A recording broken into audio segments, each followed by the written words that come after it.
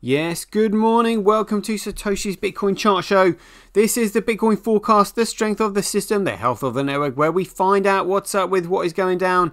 Today's date is Tuesday, the 1st of August 2023, the year of BSV. Let's get into it. Buy BSV.live, the best place to buy Bitcoin SV online, the original protocol, and genuine Bitcoin. Here we go. Let's do this.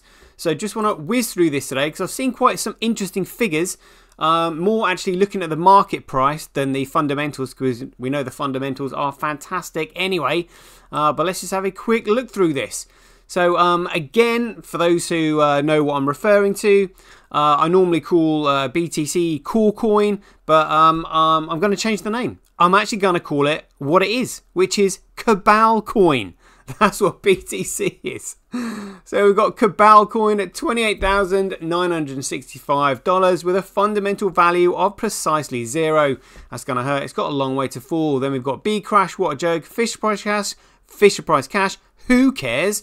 And then we've got Bitcoin. The original protocol goes right the way back to the Genesis block. It hasn't changed, making it the real Bitcoin, the true Bitcoin, the genuine Bitcoin, and the world's first and only ever digital commodity backed by the value of data sovereignty, making it the most valuable commodity on earth because it's an extension of our own personal freedoms and liberties. Oh, yeah. So look at this transaction volume looking good 80% block size, oh, just, just below 70.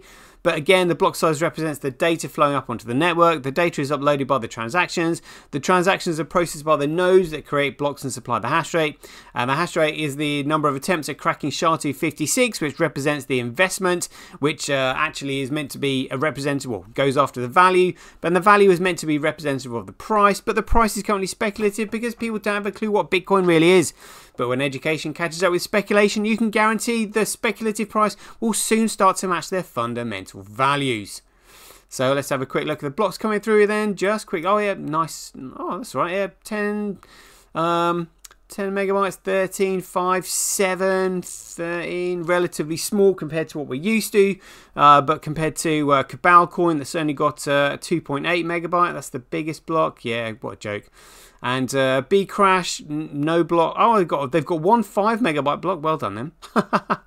and uh, Fisher Price Cash still struggling to get all their blocks over a megabyte, let or over a kilobyte, let alone anywhere near a, uh, a megabyte.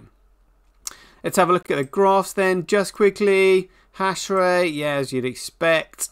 Uh, proof of work, yeah, usual. So this is interesting. So it's currently 1.1% more profitable to mine on Bcrash. Again, it's like it's usually 1% more profitable to mine on BTC, uh, Cabal Coin. Uh, 1% more profitable to mine on eCash. Again, I think these are being carefully managed. And again, look at this. It's 36% more profitable to mine on BTC, which is scaring all the miners away from it, which means they're not holding any Bitcoin. Can you imagine what is going to happen when they realize the mistaker to maker that they have made? My goodness. Uh, daily average Bitcoin uh, block size by network. Yeah, Bitcoin smashing it. Transac uh, transactions by network. Oh, there we go. Back above it. Loving that. Uh, transactions per block. Yeah. Um, fees. Look at the look at that subcent fees. That's USD. Fees Satoshis right down there. You, you cannot beat Bitcoin on that one. Absolutely amazing. Uh, block feed to block reward ratio, again, we'll just keep an eye on the red line because that red line will start to trend upwards very soon when the transaction volume increases. Daily accumulated Bitcoin blockchain growth by network, Bitcoin smashing it. Right, hash rate. So this is global hash rate, seven days. So uh, yeah, Foundry, USA pool, and AntPool uh, with well over 50% uh, between them. Um, yeah, they've got a huge amount of hash rate there. Uh, 24 hours again, looking very similar. Uh, this is a uh, Cabal coin. Again, Foundry, MasterCard. Wouldn't expect anything less. Mining that piece of crap. And uh, Antpool, again, making a huge mistake. This is interesting, though. Um, so Bcrash, uh, other miners normally have a much larger percent of the hash rate on here to squeeze just to keep the profitability at bay. Um, but they've actually reduced, uh, other miners have reduced the hash rate on here, allowing other foolish miners to jump on it and uh, it, look at that. It's yeah, it's it's still approximately the same. So that's very significant. So really, um, what you're after is for other miners to have their hash rate right the way down here, um, and that means that they've got excess hash rate to bring on the network to just absolutely destroy this thing. When the miners start fleeing the chain, um, other miners can just come on, wipe out the hash rate, then just simply turn everything off and the chain disappears. That's what's going to happen to BTC, B Crash, Fisher Price Cash. It's going to be pretty devastating when it happens.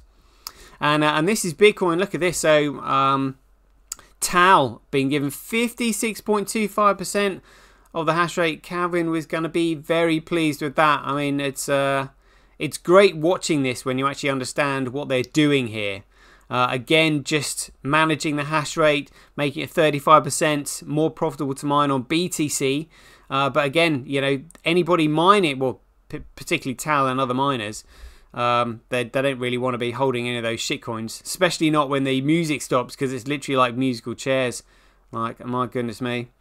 Uh, anyway, let's have a quick look at the rest of the chart. So this is the BTC difficulty adjustment. Again, still reaching all-time highs. Uh, so the difficulty adjustment is um, dependent on the amount of hash rate that's on the network. Uh, and it just means that a block is, uh, is continued to be found uh, approximately on average every 10 minutes. So the more hash rate that's on it, uh, the more chances there are of finding SHA-256. So then the difficulty adjustment has to increase accordingly so that blocks are found every 10 minutes. Just interesting to look at. So this is the, the genuine Bitcoin hash rate. That's been um, over a year. It's looking pretty solid so far. Uh, and it looks like uh, Bitcoin's back on a BitInfoCharts. Uh, BSV, we're now 41.3% of the entire market's transaction volume. Again, you know, it's, it's, it's nothing compared to what um, it should have or will have uh, very soon, but always interesting to look at. Uh, this is a new chart here from um, a BSV data. This is great. So this is literally all you need to know, all in one graph. Look at this. So we've got um, average transaction or um, transactions over a 24-hour period. Look, Bitcoin absolutely smashing it, 2.1 million compared to Ethereum, which is 1.1. Uh, Ripple, that's XRP, 832,000. But I mean, look at that. It's just so obvious when you see, when you see it like this. It's crazy. And look at this uh, transactions, transactions per second, and uh, average fee 24 hours. Look at this. So um, this is uh, descending, so it's cheaper as you go up here, and this is transaction throughput. So BSV has got a much uh, a, much larger transaction throughput, and the fees are literally just like this is like in terms of dollars zero point zero zero zero zero one. Below that, you, you, you can't you can't beat it. Look, it's in it. It's it's on its own. Top right of the screen. It's huge. It's massive. Oh my goodness me. Uh, Coin Dance in the last 24 hours again. I mean, Coin Dance is, you know, irrelevant really. Um, uh, mining profitability is this is kind of interesting. So this is compared to Coolcoin because that's the the Mac Daddy at the moment. But again, the profitability will change enormously uh, when the price goes up a little bit and the transaction volume increases on the network. Yeah, my goodness. And uh, look at there, hash rate. Look at that. So it's literally BTC with like what 99%, uh, more than that you know, ridiculous. Just because they follow in the price, but the miners don't have a, a clue about what Bitcoin really is. So yeah, all the gear and no idea is a uh, a classic one here. Look at this accumulated number of transactions. Look, the BSV network has done 2.6 billion transactions, more than any other network. Uh, almost, almost like combined if you're taking out Ethereum and BTC. My goodness me. And then uh, accumulated size of the blockchain. Look at this. I mean, look, so this is the amount of data that's actually on the network. So even with uh, even with Ethereum, with all their um, NFT crap on it, with all the all the shit that is on Ethereum, and there is a lot of shit on Ethereum. Look at that. But BSV still absolutely smashing it, absolutely smashing it. And again, that's just due to the um, ease of the um, upload and the and the cost of the upload. You can just simply fit more data on it. That's it. Great chart that one. Um, and this, this is the um, BSV data homepage. Let's have a look at applications to see what's making the transactions. So we've got ST, stuk.co with 1.9 million transactions. My two cents, uh, 37. CertiHash going up, 15,000. 15,000. And um, STUK, uh, look at that, um, output volume, 76 million. Uh, peer games output volume, 88,000 over a 24 hour period as well. Jeepers. Uh, mintBlue transactions, uh, 5,600. Volume output, £7.50. Um, DXS app, remember, dirty traders can be unsullied on DXS app because it is a derivative platform where the um, the owners uh, literally just simply take commission from the trades and the um, and the and the what's what do we call it? Uh, the fund the the traders fund pool. Uh, so um, the owners of the site don't actually have a dog in this fight. So it's just literally you can you can either um, top up the pool with your money and you can benefit from the losses of the traders, or you can trade and you can uh, benefit from uh, benefit from uh, good decisions. Uh, it's up to you. It's a great site. But yeah, looking good there. Uh, mintBlue loving this one. I'm glad to see this is back on because um, all the other sites that were showing how uh, economical uh, Bitcoin was were closing down. I mean, look at this. So we've got Cabal Coin, literally Cabal Coin, the dirtiest coin on the entire market by a country mile. Look at this. Hardly any transactions, huge amounts of CO2 output, and again, we're using the Cabal's terminology against them. Look, the genuine Bitcoin is literally by far the greenest, most efficient coin on the entire market by a long shot. It's huge. Great stuff. Let's have a look at uh, WhatsOnChain. Just giving you more of a, a, detailed breakdown of the mining. So we've got Mining Dutch and we've got GorillaPool listed here and then um, others on there. Very good. WhatsOnChain? Let's have a quick look at the transactions over 24 hours. Yep, 2 million. Very good.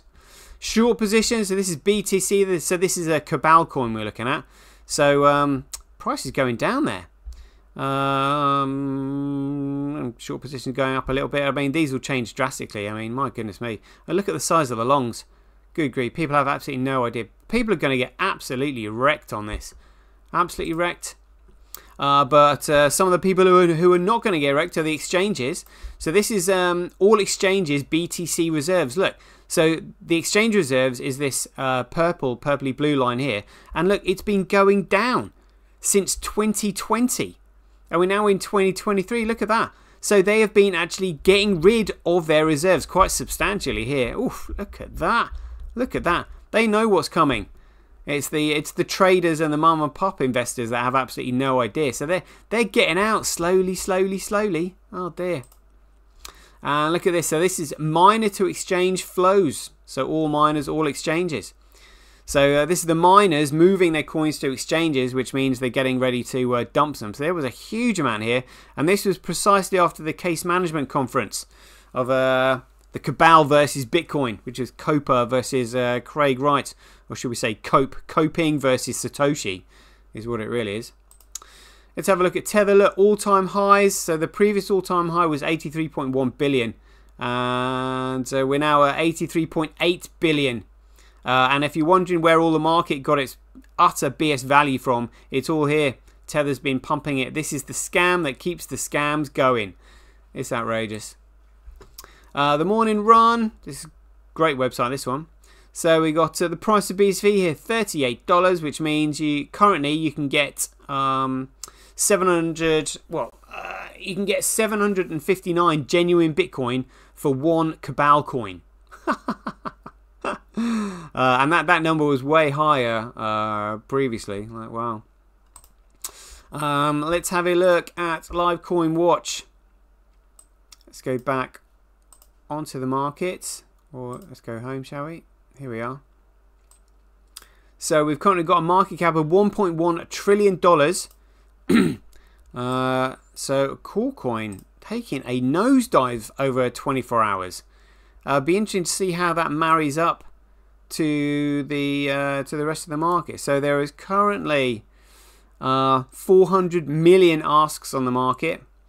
Um, trade volume, just uh, what's the percent? 1.3. That's a that's a really low trade volume for uh, for BTC. So usually around five percent uh, for most market traded items. But anyway, let's have a look at that price chart there. And now we'll compare that to, we'll compare Cabal coin to Bitcoin. Let's have a look.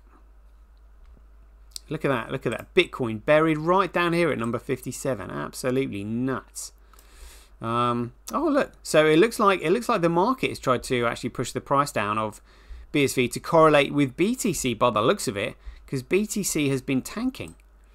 Um, interesting, just 2.5 million asks. Uh, trade volume 3.7. Hmm, all right.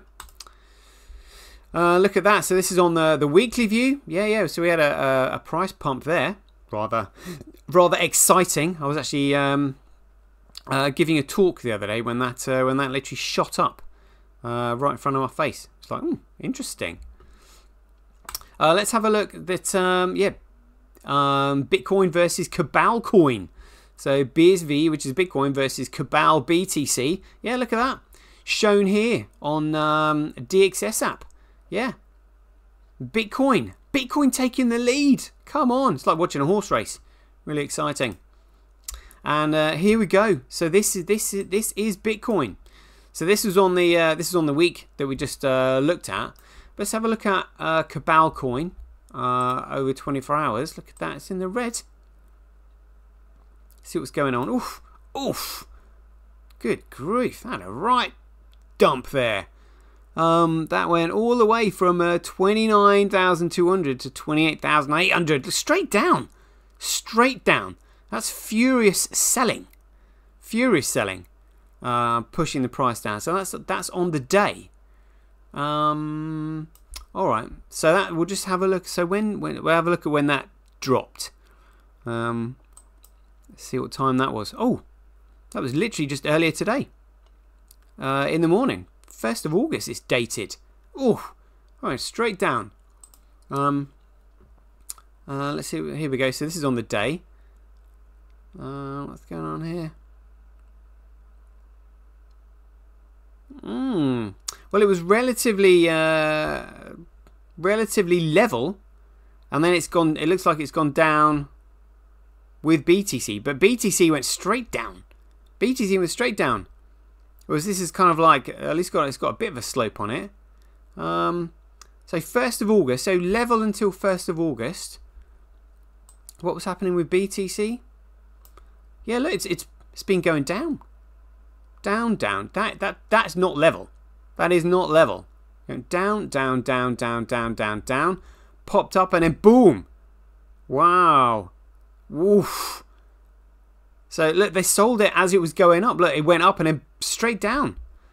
We've I've seen this many times before, but I mean that that's really sharp. Oh, if if anything is going to knock confidence in the market, it's a line that looks like that. Look at that. Look at that. My goodness. Right. Uh, anyway, that's an 18 minute show. Check this out. So, the reason I call it Cabal Coin is because this uh, Jameson Lopp very kindly omitted this for us. He said 12 years ago, Satoshi stopped contributing to the uh, Bitcoin uh, to Bitcoin and said the project was in good hands with everyone. Well, he said particularly Gavin, but they chased Gavin out. And he said here today only 0.06% of the uh, lines of code in the Bitcoin Core repository remain unchanged since Satoshi wrote them. So that means they have changed 99.94% of all the lines of code since Satoshi wrote them. So literally, the the Cabal coin they've created is only 0.06% of what Bitcoin should actually be. That's how much they've tampered with it. And then he says, We're all Satoshi. No, you're not. That's absolutely hilarious. I might actually make another show on that just as a bit of a news roundup. Anyway, we'll leave it there. Hope you enjoyed it. As ever, be aware, take care, stay safe out there, and we'll see you in the next one.